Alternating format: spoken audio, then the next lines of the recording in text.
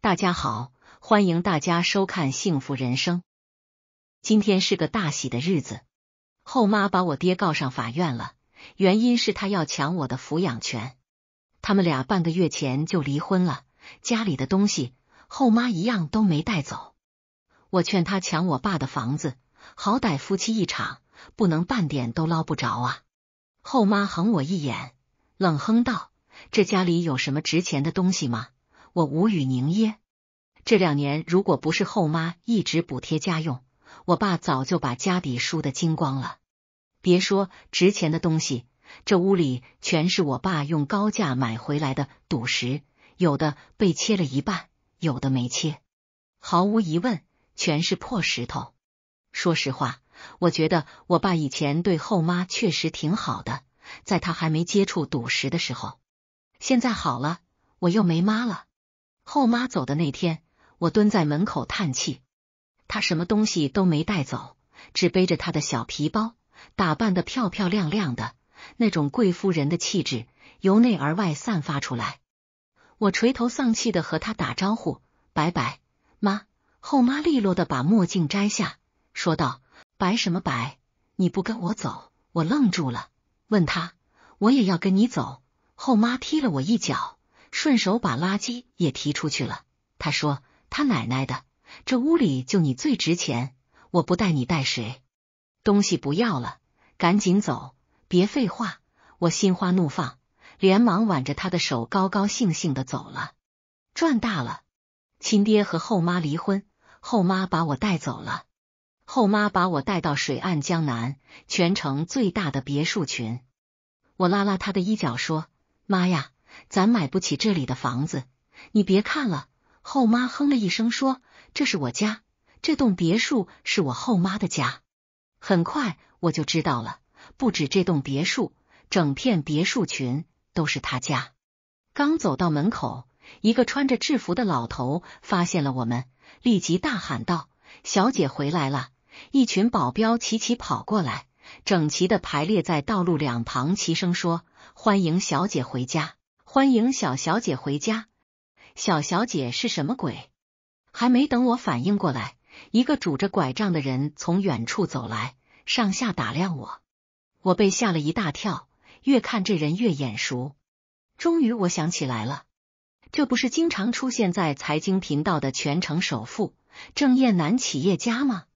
老头子看着我，冷哼一声道：“过来。”后妈使劲推了我一把，说：“叫你呢。”我胆战心惊的走到他面前，实在想不出叫什么，半晌憋出句“爷爷”，没想到老头子突然哈哈大笑道：“哈哈哈哈，你这女儿有眼力，我就喜欢这样的乖孙儿，多叫几声，爷爷给你买大飞机。”这下我听懂了，郑燕南是我后妈的爹。我靠，我变成全城首富的孙女了！我两眼发光。使出全身力气大喊：“爷爷，爷爷！”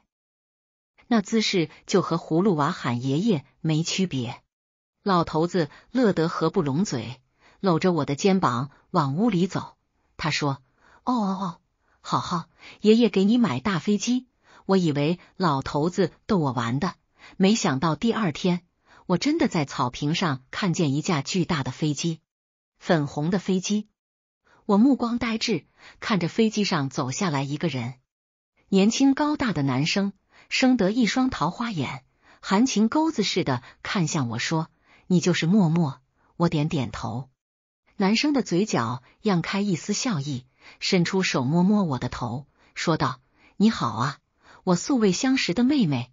我万万没想到后妈竟然还有一个儿子，而且比我大。”清俊帅气的男生叫谢卷义，后妈姓郑，他姓谢。那就是说，后妈和我爸也是二婚，他和他前夫也有一个孩子。我瞬间产生了一种被背叛的感觉，就连谢卷义一脸关切的问我怎么了，我也说不出话来。我真的很喜欢后妈，后妈很漂亮。我爸刚把她领回家的时候，我一度认为一朵鲜花插在了牛粪上。她才四十多岁，那时候我爸还有钱。后妈的梳妆台上经常摆放着名贵的护肤品、化妆品。后妈的脸嫩得如浇花似的，说她二十岁也有人信。我亲妈已经去世很多年了，这会儿来了个大美女，愿意和我们组成一家人，我巴不得我爸快点把她娶回家。他俩领证的时候，后妈也亲口告诉我，以后会把我当亲生女儿，也只会有我一个孩子。可现在后妈凭空多出来一个比我还大的儿子。我的心咯噔一下就凉了。后妈从楼上走下来，见我脸色不好，问道：“怎么了，谢卷义？你欺负妹妹了？”然后连忙把我拉到她身边去。谢卷义一脸无辜的说：“没有啊，爷爷说把飞机给妹妹看看，我这不开过来了。”后妈说：“哦，看飞机，来，宝贝儿，咱们体验一下你的新飞机。”后妈兴冲冲的拉着我去坐飞机。坐上了大飞机，我还是有点不高兴。后妈摸了摸我的额头，担心的问：“怎么了，闺女？不喜欢吗？怎么不高兴？”我哼哼唧唧的说：“没有，你骗我。”后妈有点意外的问：“我骗你什么了？”我说：“你不是说只会有我一个女儿吗？”后妈愣了一下，然后大吼一声：“谢卷义，你跟你妹妹胡说八道了什么？”谢卷义更是无奈。一双好看的大眼睛眨巴着，他说：“没有。”咦，我什么都没说。我惊呼一声：“咦！”后妈说：“对呀，他是我姐的孩子，你应该叫他表哥才对。不过叫哥哥也行。”搞了半天，谢卷义不是后妈的儿子，是他姐姐的儿子。我说：“我还以为他是你儿子呢。”后妈轻拍了一下我的脑袋，说：“养你一个猪就够我费心了。”这下我高兴了，舒舒服服的躺在座椅上享受我的大飞机。以前常听别人说，人一旦有钱了，就会得意忘形。我不仅得意忘形，我还傲逆得志。不要问我为什么，我后妈有钱，我爷爷有钱，四舍五入我也有钱。爷爷送了张卡给我，他没说里面有多少钱，只说是我的零花钱。后妈要去和她的小姐妹喝下午茶了，她看了一眼，匆匆的说：“你也给你，就收着，没钱了再跟我要。对了，车库有很多车，你不想让司机送你出去，你就随便挑一辆开。”后妈说完就走了，而我拔腿就往车库跑，各种型号的车看得我眼花缭乱，跑车、SUV、赛车，虽然我对车一窍不通。但我还是能看出这些车的共同特点，一个字贵。所以我随意挑了一辆特别小巧 Q 版的车，因为它的外观看起来就像一个灰色的蛋壳，看起来就很可爱。就你了！一路上我的车收到很多目光，道路两旁的车都在暗戳戳的给我让道，以至于我得意忘形，一头撞上了 SKP 地盘上的一辆车。我龇牙咧嘴的从车里走下来，被撞的车主推开车门就开始骂：“哪个不长眼睛的撞我？我这车你赔得起吗？”待他看清楚我的车后，眼珠子都差点掉出来，喊了句：“剁剁椒鱼头！”我的车原来叫剁椒鱼头吗？好奇怪的名字！我抱歉的说：“不好意思，撞到您的车了，走保险还是私了都可以，多少钱？”我都赔您，他说赔，你赔得起吗？知道我开的是什么车吗？你开个剁椒鱼头来逛 SKP，简直……他想了半天都想不出一个形容词，涨得脸都红了。我好心提醒他道：“愚蠢。”他说：“，愚蠢至极。”我又说：“糊涂。”他说：“糊涂至极。”我说：“笨蛋。”他说：“笨蛋至。”喂。这高高大大的男生气急败坏的跳脚道：“你干嘛绕我？因为你看起来好像是有钱的笨蛋帅哥。”我想了想，一脸诚恳的说：“我先打个电话。”笨蛋帅哥瞬间警惕，防备的看着我说：“干嘛要喊人呢？”我告诉你，喊人没有用啊！我知道没有用，但是我有超能力。我先给后妈打了个电话，告诉她。我出车祸了，她那面传来的声音很模糊，听起来有隐隐约约的哗啦哗啦声。他们贵夫人喝下午茶，还有娱乐活动。听到我出了车祸，她的声音瞬间大了一百倍，问道：“车祸？你在哪儿？你受伤没？严不严重？”我连忙说：“我没事，车有事。”后妈说：“你把车撞坏了。”我不好意思的说：“我把别人的车撞坏了，车头前面的小玩具都撞坏了。”你等等，我拍个视频给你看。我对着笨蛋帅哥的车就是一顿咔咔拍。后妈看完后给我发了俩字：牛逼！你在那么多车里撞了一辆最贵的跑车，什么小玩具？那是人家劳斯莱斯的小金人。劳斯莱斯这么骚包、这么丑的车是劳斯莱斯？我腿一软，回他道：“你把我卖了换钱，我能赔得起吗？”后妈不知道在干什么，好一阵没回我。那帅哥像幽魂一样一直盯着我，我实在忍不了了，主动向他要了张名片。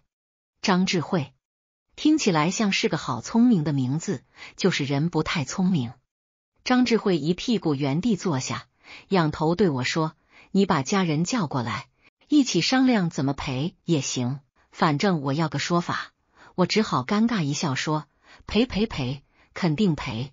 在我想要用屁股坐穿整个地球时，后妈终于回我了：“我让你哥来了。”然后那个男人就如同天神一般从远处降临，黑白的机车划过一道利落光亮的尾翼，他戴着的头盔帅气一摘，没摘下来。即使没看见他的脸，我也知道谢卷意肯定尴尬到爆炸。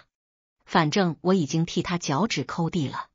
下一秒，他就摘了头盔，若无其事的说：“来晚了，不好意思。”我说：“没，我还没说完。”坐在一旁的张志慧嗖的一下窜起来，抢着说：“没事儿，没事儿，一点都不迟。哥，你别站那儿，多晒啊！你来我这儿站，这儿凉快。这人的变脸速度之快，我叹为观止。我忍不住对他道：‘喂，你刚刚可不是这样对我的。’他又变脸了。说道：“那又怎样？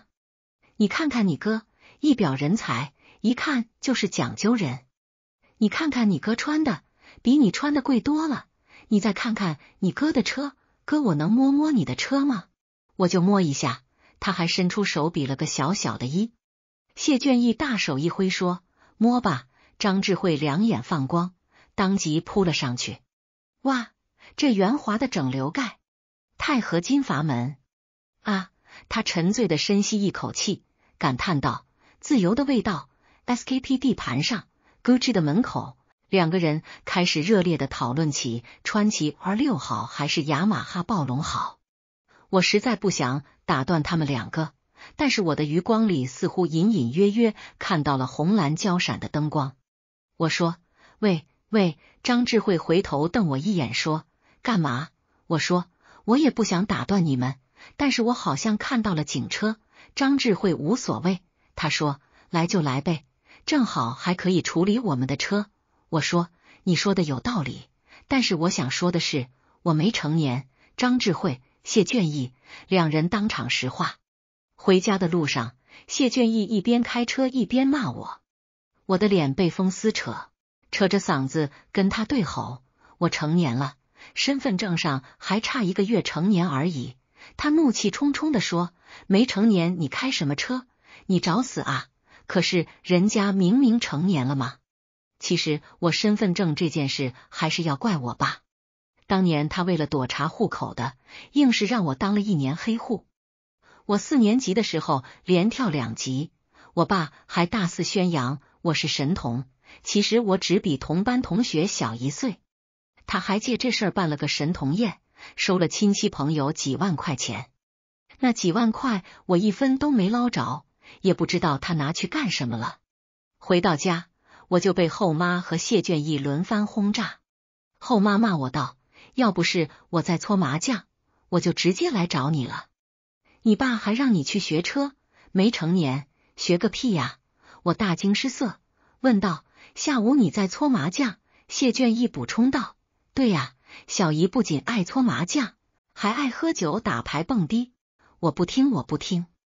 我一直以为后妈走的是温柔体贴的人妻风，没想到竟然是狂野女孩风。我问她：“那为什么以前没看见你打麻将？”后妈小声说：“其实我是趁你上学的时候打的。”我的心碎了一地，仙女滤镜破了。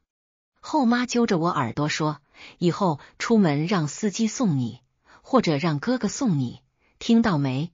我沮丧的说：“知道了。”正难受时，一声中气十足的呼喊瞬间传遍客厅：“乖孙儿！”老头子拄着拐杖走过来，越走越快，走到我面前时，手里的拐杖已经被他丢出去了。我目瞪口呆，不是黄梨木相遇的拐杖，就这么丢出去了。他上下巡视我，满脸心疼的说：“哎呦，我的乖孙儿，哎，有没有受伤啊？”我艰难开口道。爷爷，我没事，我把别人车撞坏了。劳斯莱斯老头子像一只护崽的母鸡一样激动，他说：“赔，赔得起，几百万而已，又不是赔不起哦。”后妈皱着眉反驳道：“爸，您别把孩子惯坏了，他还没成年呢，就学别人开车。”老头子说：“哎呦，这可不行，坏孙儿，你咋还没成年呢？不是，您刚才还叫。”我乖孙儿，现在就叫我坏孙儿了。我小声反驳道：“只是身份证还差一个月了。”老头子说：“那也不行，成年之前不能学别人开车，多危险呐！”在老头子的威压之下，我只好重重的点点头，然后问出了我从刚才就一直很疑惑的问题：“爷爷，你不是腿脚不好吗？怎么现在不拄拐杖了？”老头子嘿嘿了两声说。我装的腿没事，我我呆住了。这行事作风果然和后妈是一家人。第二天我还没睡醒，谢卷义就把我拉到商场门口了。我睡眼惺忪的说：“哥，你干嘛？”谢卷义搂着我的肩膀走进一家店，他说：“你都回来半个月了，哥哥还没送你点像样的东西。这个好看，试试。他手里这款衣服。”即使我不关注奢侈品，也知道这个牌子不是一般的贵。从试衣间里出来，我怕导购听见，附在他耳边小声的说：“哥，算了吧，这个好贵呀。”谢卷意也小声的回我道：“没事，哥有的是钱。”我瞬间像是打满了鸡血一样，开启疯狂购物模式。我说：“有你这句话，我就放心了。”谢卷意一脸疑惑。一个小时的时间，我差不多把店里所有的衣服都试过了。对着镜子，我越看越好看，越看越喜欢。果然，有钱人穿的衣服都那么精致。谢卷义没有丝毫不耐烦，还帮我搭配对应的饰品。以前我爸从来不陪我买衣服，我忽然生出一股莫名的酸涩感，冲上去抱住谢卷义说：“谢谢哥哥。”谢卷义的手不知道往哪儿放，最后放在我头上，轻轻的拍了两下，他的耳朵都红了，咳嗽了一声说：“谢什么？都是一家人。”但是我好像听见他的心脏在砰砰跳，他眼底的温柔还没来得及藏，我没有拆穿他，而是转身招呼导购结账。我不想告诉他，其实我的心也在砰砰直跳。这半个月来。谢卷义一直在照顾我，我觉得他肯定是受了我后妈的嘱托。但是每当他对我关怀备至时，我又忍不住心动。这时，一个突如其来的声音打断了我的思绪：“不好意思，打扰了。你二位一共消费八百万零一毛，请问是刷卡还是现金？”谢卷义说：“刷卡吧。”然后我就看着他找了十分钟的卡，我心里有种不祥的预感。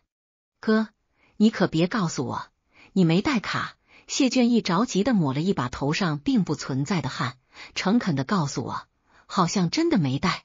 我谢卷义，我真的想杀了你。关键时刻还是得我后妈出场。一米七八、自带强大气场的后妈，爽快的刷了卡。我和谢卷义拎着大包小包的东西跟在他身后，就像是女王带了俩仆从。后妈又戴上了她的墨镜，笑着说：“好了，你俩去玩吧，我回去搓，喝下午茶了。我心里吐槽他道：“怕是又要去搓麻将吧？”许木忽然听到有人叫我的名字，我下意识的应了一声，下一秒却僵直的站在原地。我爸，他以一种极其阴沉的眼神看着我。我有半个多月没见过我爸了。后妈把我带回家后，一直没有提起过我爸。家里的每个人都把我当成他们的亲人，以至于我真的以为我就是公主。可时间一到，我还是十二点的灰姑娘，是臭水沟的老鼠。我没意识到我在发抖，他就站在不远处瞪着我。我怀疑他手里藏着刀，下一秒就要砍向我。我对我爸的恐惧早已烙印在了最深处。没有人知道我爸会家暴。从我记事开始，家里就只有他喝醉酒摔东西和他咒骂的声音。很多时候我都会藏起来，如果不藏，下一个被伤害的就是我。他不给我交学费，也不给我生活费，于是我只好去求那些饭馆的老板让我打工，洗碗洗到手开裂。套着厚重的玩偶服，在大街上发传单。后妈来我们家的那一年，我爸忽然变得像个正常人了。我的学费有了，生活费也有了，再也没有人会无缘无故的朝我挥拳头。我爸甚至嘱咐我要对新妈妈好一点，我当然要对她好一点。如果不是后来我爸又迷上了赌石，后妈怎么可能会走？忽然，我的手被后妈握住了。她站到我前面，用身躯挡着我，声音明显带着怒气。他说：“你怎么在这里？不是给你了两百万，让你以后别再见木木吗？”后妈给了我爸两百万。我爸吊儿郎当的向前走了几步，阴险的笑着说：“你那点钱哪够我花？木木是我亲闺女，我带她回家有什么问题吗？再说，法院传票都寄到我家里来了。”我凭什么不能带她走？法院传票，我脑子嗡嗡的，完全不知道他们二人在说什么。什么两百万？什么法院传票？他们俩这样根本不像是旧日夫妻的模样。后妈双臂环胸，冷眼看着我爸说：“你有吵架的功夫，不如去找几个好律师，过几天就开庭了。”木木，我是绝对不会让你带走的。我爸嗤笑一声说。走着瞧吧，我的亲生女儿，就凭你也想带走？做梦！他从我身边走过，用只有我们这几个人能听到的声音说：“小贱人，跟你妈一个德行！”沉默许久的谢卷一冲上来就是一拳，揪着我爸的衣领，大声吼道：“滚！”我到现在才知道，后妈并不是我后妈，她和我爸并没有离婚，因为他们根本就没有结过婚。他们俩早就签了合同，大意就是我爸要和后妈假装夫妻，后妈给我爸两百万。我颤抖着问：“为什么要这样做？”后妈叹了口气，从包里翻出一张照片，指着上面一个人说：“认得他吗？她是你妈妈，也是我最好的朋友。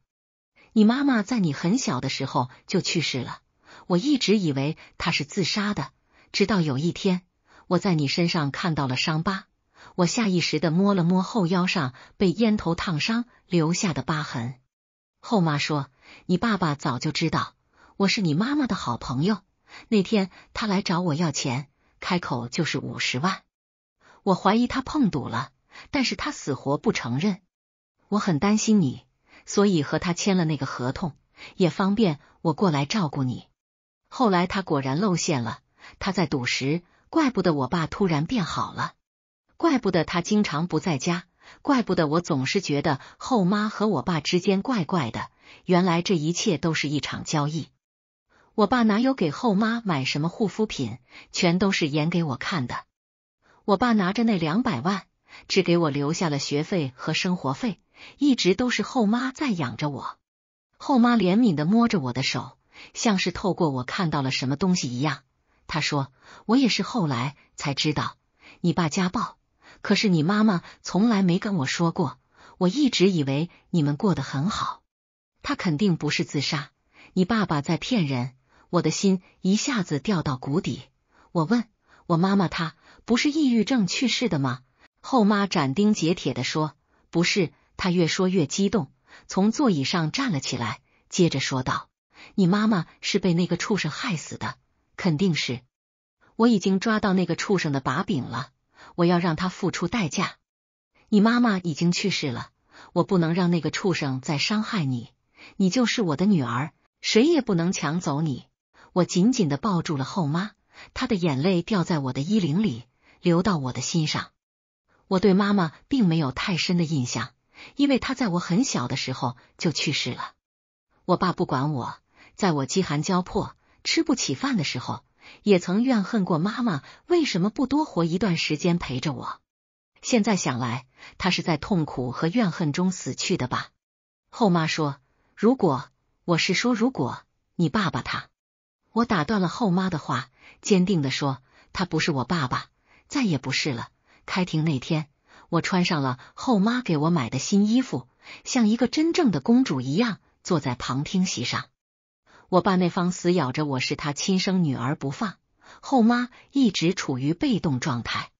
开庭到一半，后妈忽然提交了关键性证据，一段我妈的录音。录音里，妈妈说她打我。还要打木木，我恨她，我要带木木走。紧接着是我爸的声音：“你个臭娘们儿，又在嘀嘀咕咕什么？给我钱啊，快点钱！”妈妈喊道：“，别打了啊！”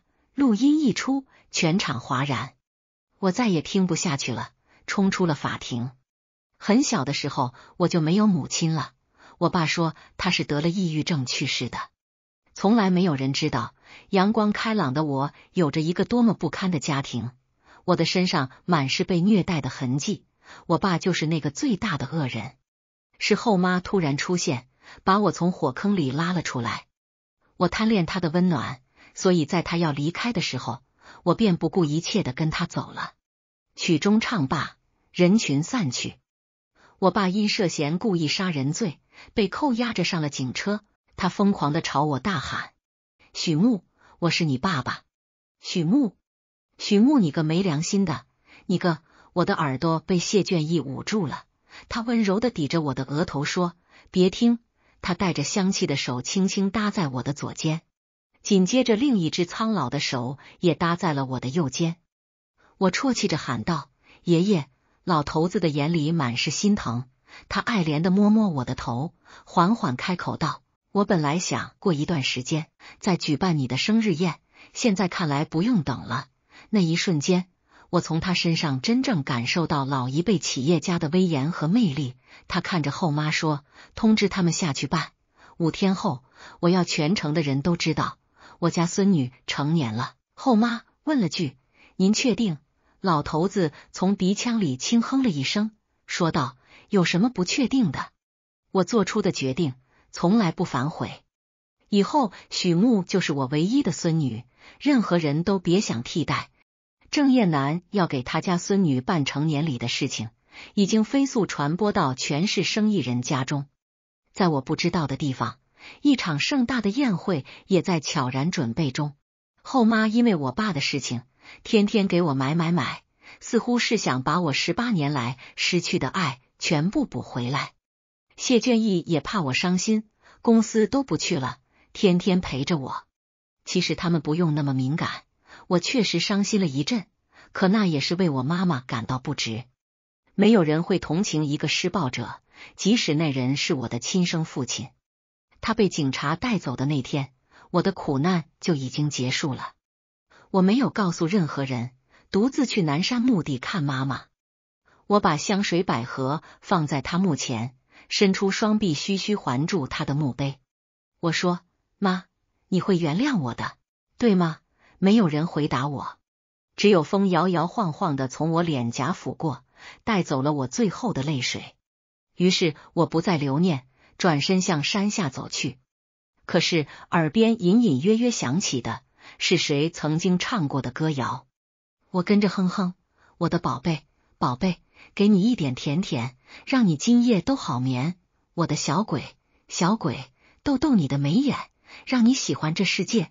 我听见他说：“宝贝，要幸福。”收到高中同学信息的时候，我还在和谢卷义玩密室逃脱。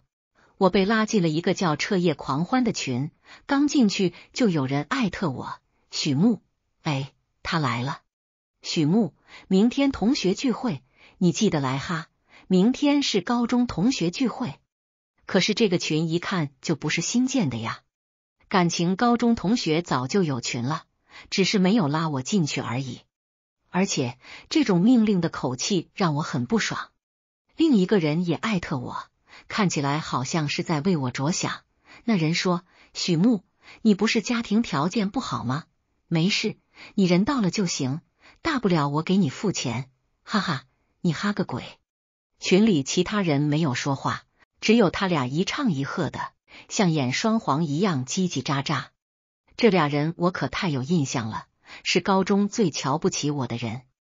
我冷着脸开始打字，什么时间、地点。立即有人回我：“明晚八点，凯越，凯越，这名字怎么越听越耳熟？”谢卷义还在低头研究开门的线索。我随口问他：“哥，你知道凯越不？”谢卷义头也不抬的说：“知道啊，我家的，天助我也！”我蹲在地上，诚恳的紧握他的双手，说道：“好哥哥，明天就靠你了。晚上八点。”司机把我送到凯悦门口，门口的接待把我领到包间里。一进门，我便感受到无数人的目光投在了我身上。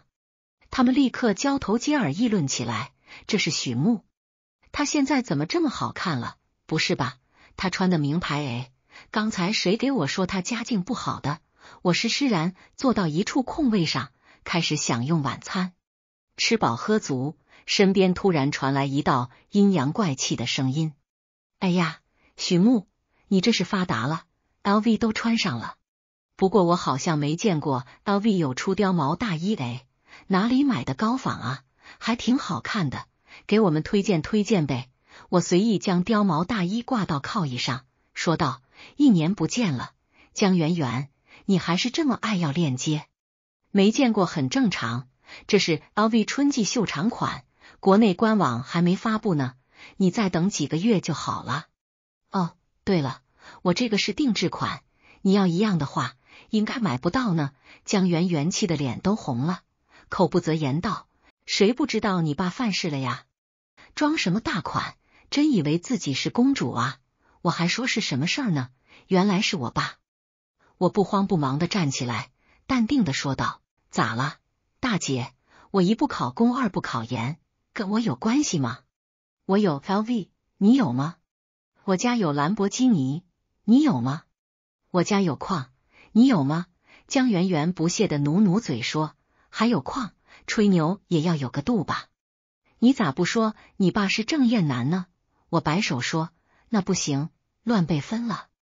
郑燕南是我爷爷。”江圆圆捧腹大笑，拍着手说道：“你们听见了吗？”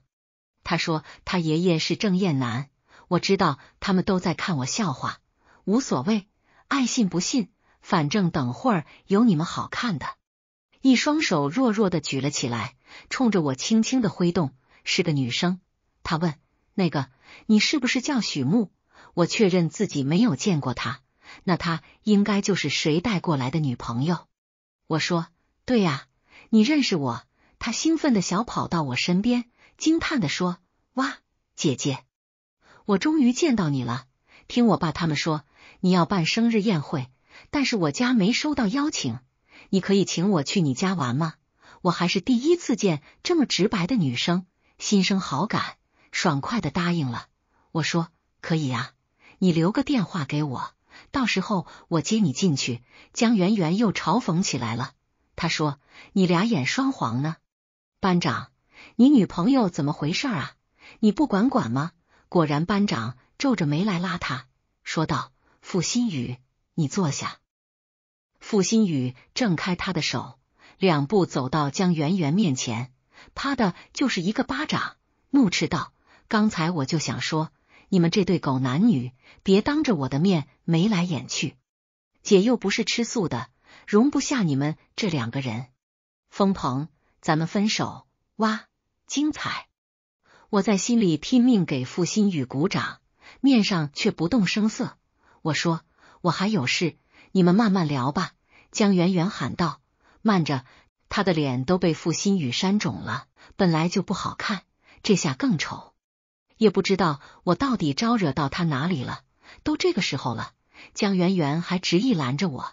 他说：“你说你爷爷是郑燕南，好，你那么有钱，去把我们这个包间的账结了吧。”我被气笑了，问他凭什么？他倒是理直气壮的说：“你那么有钱，报销一下同学会的费用，怎么了？”说完，他还大声朝门外喊道：“服务员，结账！”服务员小跑着过来，对我说道：“您好，您这一桌一共消费两万八千八。”到底是在高端会所工作的，一眼就看出我穿的最好。账单被递到我面前来，我刚要开口，忽然一个熟悉的声音传来：“这桌不用付了。”江圆圆惊喜的叫出了声：“谢哥！”我抬眼一看，果然是谢卷意。怎么，江圆圆也认识谢卷意？谢卷义也很意外，望着他问：“你是？”江圆圆故作姿态的走到他旁边，扭捏的模样令人作呕。江圆圆说：“我妈妈是江科，你记得吗？”谢卷义恍然大悟道：“哦，求我办事的那个。”我差点没忍住笑。谢卷义的嘴巴一如既往的毒。江圆圆的脸上有一丝扭曲，很快又消失不见，反而笑得艳俗不堪。他说：“谢哥记得就好。对了，你是看到我在这里？”所以给我们免单的吗？其实也不用这样。谢卷义立即打断了他的长篇大论，说道：“那倒不是，我只是来接我妹妹回家。”木木还不过来，我乖乖应了声“哦”，然后我故意把江圆圆从谢卷义身边挤开，我勾着谢卷义的手，冲江圆圆微笑道：“账就不用结了，毕竟是自家产业，就当是请各位同学吃饭了。”既然我哥来接我，那我就先走了。你们慢慢玩，记得要彻夜狂欢啊！那次聚餐后，源源不断的人来加我，我索性换了个手机号，世界才终于清静下来。宴会办在一个庄园里，粉玫瑰铺满了整个会场，杨桔梗在其中稍作点缀，全家人盛装出席。后妈甚至飞到法国去给我做了一身高定。不得不说，有钱人的世界确实是你想象不到的。傅新宇一家本来没有在受邀名单上，听说了我在同学聚餐上的事情，后妈连夜给傅新宇一家送去了请柬。后妈语重心长的跟我说：“你就应该交这样的朋友，敢爱敢恨，重点是敢反抗不公。以后有谁欺负你。”你就拿钱砸他，反正咱们家别的没有，就是钱多。一句话听得我热血澎湃，当即就给付新宇和我自己买了两个最新款的包包。全市的有钱人基本上都来了，我看到付新宇欢快的和我打招呼，张智慧竟然也在，他还不屑的冲我努努嘴。还有江圆圆，不知道他是被谁带进来的，一个劲儿的对着这些有钱人。阿谀奉承，可惜人家也看不上他，礼貌的点头后就离开了，只留下他一个人尴尬的站在原地，对上我似笑非笑的眼神。江圆圆的脸上闪过一丝慌张，急匆匆的跑开了。我懒得和他计较，毕竟今天这个场面不适合清理老鼠，就随他去吧。老头子领着我和他的老朋友们打招呼，不得不说。能和老爷子交朋友的人就是上道，二话不说就往我身上套首饰。一圈下来，我的脖子都重了三斤。众人都笑呵呵的，似乎他们都是我的亲爷爷。门外不知道是谁在吵闹，声音尖利的内场都能听见。后妈给安保使了个眼色，只是还没等安保处理，门外的人就一身狼狈的闯了进来，冲着我怒目而视道。小兔崽子，你把你爸搞进监狱了，你还在这儿办什么宴会？你还不想办法救救你爸？我认出他了，我爸的姐姐许琴。后妈看情况不对，皱着眉低吼道：“愣着干什么？还不快把人赶出去！”许琴说：“我看谁敢碰我，他顺势往地上一躺，双臂一张，就赖着不走了。这些有钱人哪里见过农村泼妇，纷纷远离他，倒是给他留出了一片不小的空间。许琴又爬起来，双手叉腰，破口大骂道：“你现在发达了，不认你爸了，那我们呢？你有想过我们吗？你爸是我弟弟，你把他弄进监狱，让我没有亲人了。你怎么这么恶毒，这么狠心啊？”他说着说着，还抹起了泪。我面色阴冷。反驳道：“是他先伤害我妈妈的，他活该。”许琴说：“你……”他没想到我油盐不进，于是便换了一种哀求的语气，说道：“算姑姑求你放过你爸爸好不好？或者你补偿我四百万？我可是失去了一个亲人呐！我就知道和我爸一家的人，怎么可能会有亲情这种东西存在？到头来搞这一出闹剧，还不是为了钱？”后妈定定的看着我，眼睛里似乎是在说：“我刚才教你的，最好不要让我失望。”极度的愤怒之后，我反倒冷静下来，看着周围宾客看戏的嘴脸，爷爷和后妈考量的眼神，还有谢卷义眼底明显的担心和鼓励，我不气反笑，转身从我的房间拿出钱包，淡淡的笑着说：“你要钱，我多的是。”随后，我抓了一把钞票，往空中随意一扔，红色的钞票便如同雪花一样飞舞。许琴心痛的大喊着：“别扔，别扔！”我没理他，继续撒钞票，直到这片地上都铺满了红色。我轻蔑的看着他说：“你要就拿去吧。”许琴被我刺激到了，不顾一切的大吼道：“你有再多钱都不是你的，你又不是他们的亲孙女。”我们才是一家人。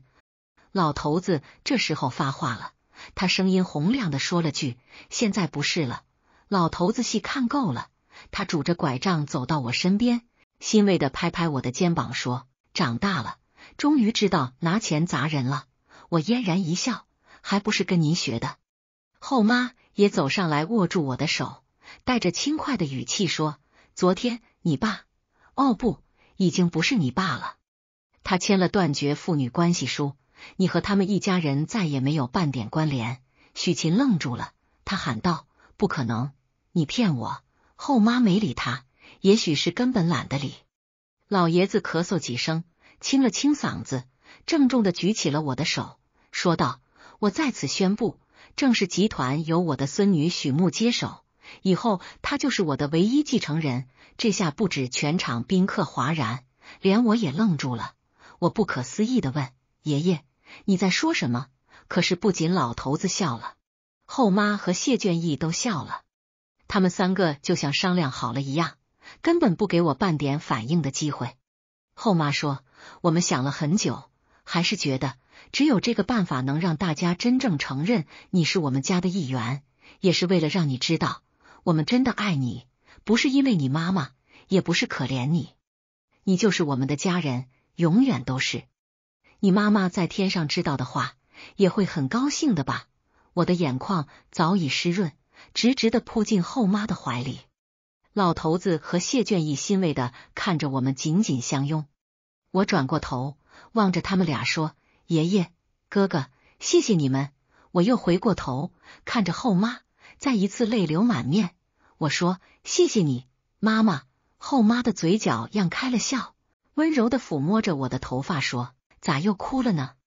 别哭，木木，今天过生日，开心一点，生日快乐。”我抽抽鼻子说：“不是，妈，你指甲盖戳我肉了，痛。”后妈尴尬道：“死孩子，不早说。”许琴不知道什么时候被赶了出去，付新宇比我还激动，高兴的又哭又笑。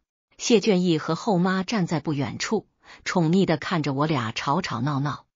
从前，我一直觉得我是丑小鸭，直到神仙教母的出现，让我穿上了华丽的衣裳，把我变成了十二点的灰姑娘。可是后来，神仙教母告诉我，这些本来就是你的。于是我在爱中生长，就变成了真正的公主。故事的结局，小人鱼没有变成泡沫，灰姑娘也没有嫁给王子。其实他们住进了城堡。和家人幸福快乐的生活在一起了。